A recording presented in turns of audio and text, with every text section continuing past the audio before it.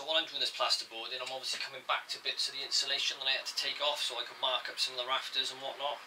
So it's not that straightforward because I've got to keep going and filling these little gaps with foam filler again and then going over it with the tape, the aluminium tape and then the plasterboard. So very stop start, that's why I'm leaving the time lapse running and hopefully this video will make some sort of sense to you but if I kept stopping to film every bit of it, we'd never get finished.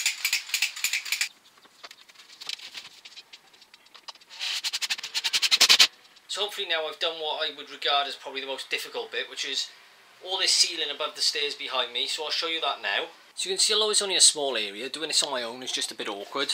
As I showed you before, I've uh, propped these two lengths of stud timber up. And if you look here, that's just what I've been sat on while I've been doing all this. We've got the cutout for the light there. So you go up, you can see the ceiling right to the top. If you look across the stairs there, I've done this bit now which is basically sectioning the loft room off from landing.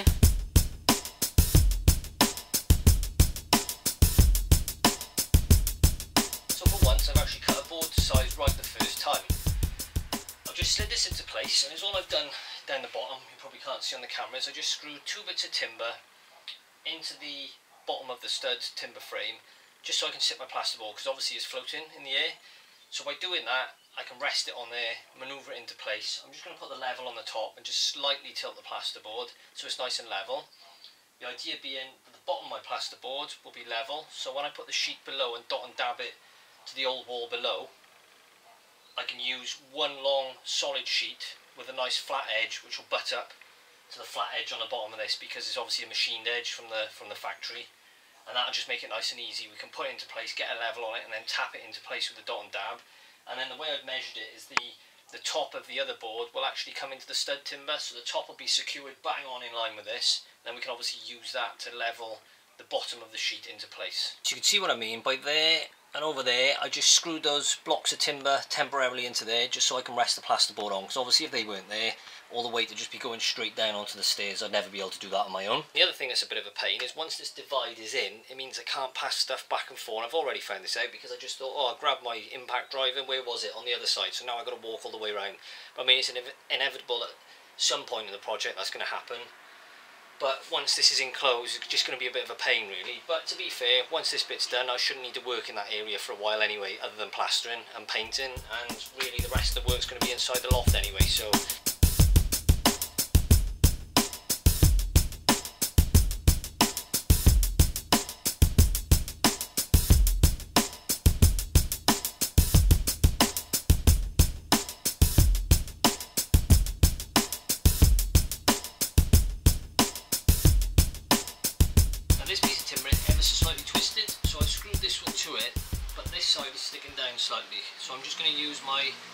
LXT planer. Shave a little bit off the edge of that.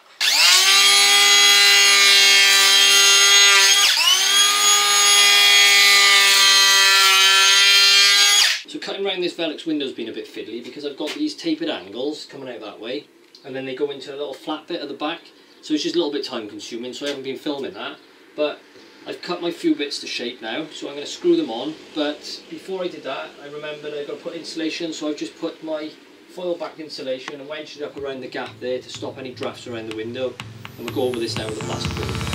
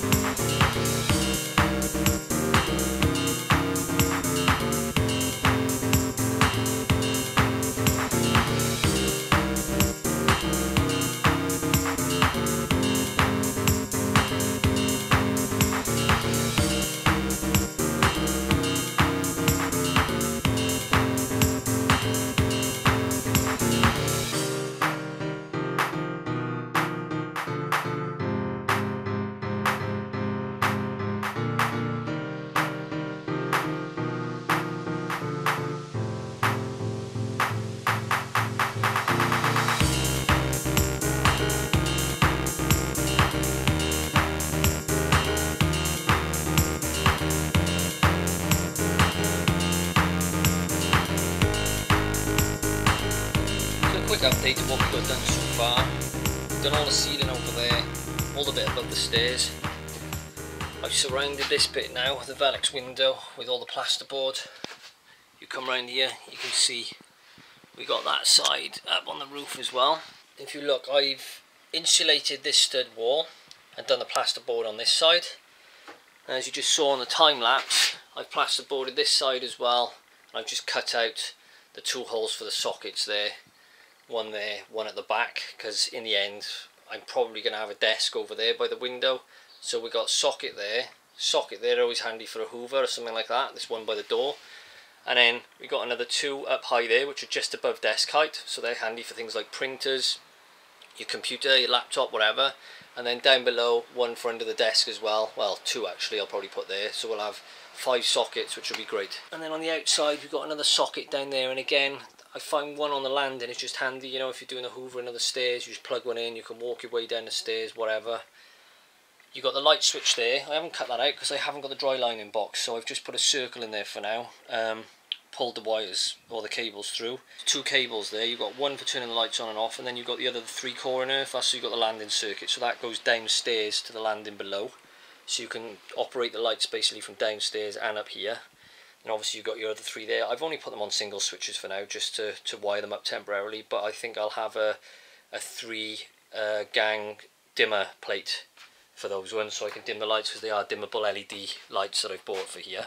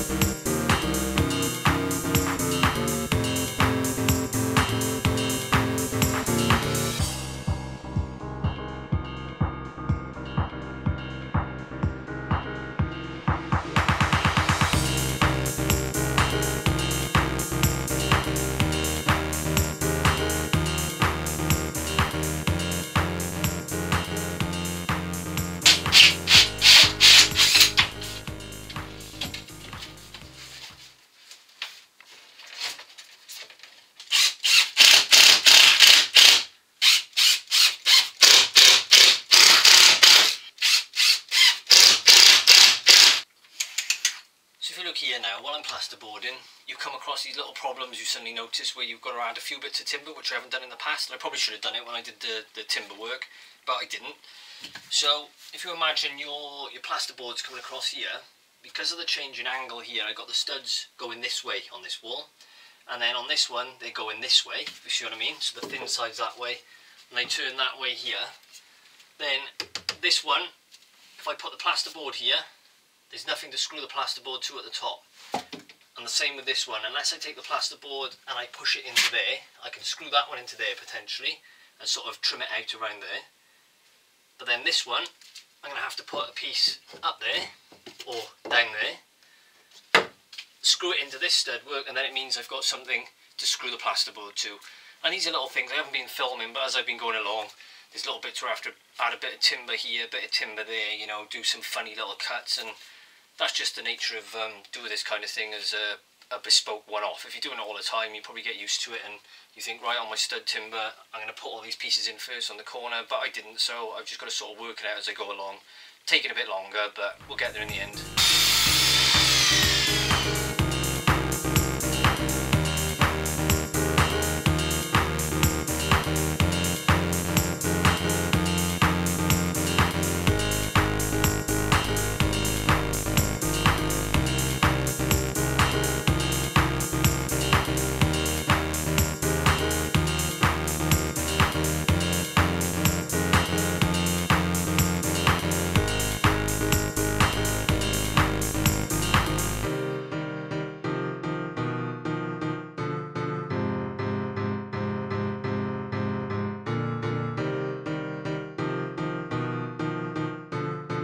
So notice by here, because I'm doing this on my own, just a, a little tip which um, you can use if ever you're putting plasterboard up on the ceiling. So I've just put this little bit of, um, what's it, 2x3 or a piece of timber across there. Just low enough to sit your piece of plasterboard in, so when you slot it up, you only have to hold it on the top. You're not carrying both ends while you're trying to screw it in. Now, you can place this so it wedges your board to the top, but it's all I've done is put it loosely, so it's still allowing me to move it around, it's taking that slack. So if you are trying to measure something up and you're getting a bit tired, you can just let it go and keep hold of this with one hand. So it just makes life a little bit easier. So you can see there, just holding it with one hand over my head. The head's always a good tool when you want to use two hands. It's just holding the weight of the other end of the board. Something I didn't mention as well, it's probably worth, like I've done, keeping your impact driver, all the screws you need, somewhere to hand so you don't have to lean down. So if you have to go back to the floor, you've had it. You've got to put the plasterboard back down.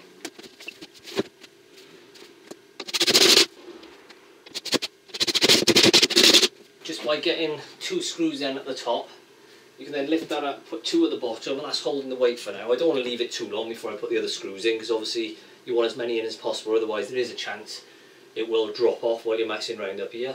If you're wondering how I got these in as well, you probably saw me earlier, I was marking up all the rafters, because as I've gone along on the insulation, I've marked the rafters, and then when I put the plasterboard on, I've kind of marked the top of the rafters, these rafters on this plasterboard, and I've marked the rafters down there. So now if I get my straight edge or my spirit level I'm using, I just draw the lines back onto the plasterboard and keep doing this. You've got to be quite systematic because if you forget to do one lot, you've had it, you don't want to guess because you've got cables up there and if you miss and go through a cable, that's a lot of work ripping this back out to repair your electrical wiring when there's not really any need to. Just take a few more minutes and just keep marking it as you go along. It is a pain, but it's got to be done. And that's my batteries charged. So I'm just going to mark now from the line they put on the timber to the line I put up there. And then the other thing that I've been doing is you can see here, or maybe you can't, I've drawn a line there and that line I projected down to where my downlight hole was. So basically if I follow this line and then I draw a line between two other marks that I've put on the ceiling, it'll create a cross and on that cross should be exactly where my hole is. The other way to do this is to use a laser level. I haven't actually got one, I don't know why, something I should have bought years ago, I've never got around to it. And if you set those up, they're brilliant. You just put your two points with a pencil top and bottom. When you come to set back up the laser line, I'll just put it, or you set it so that it runs from the one mark to the other mark, and you know exactly between there, that's where your downlight holes are.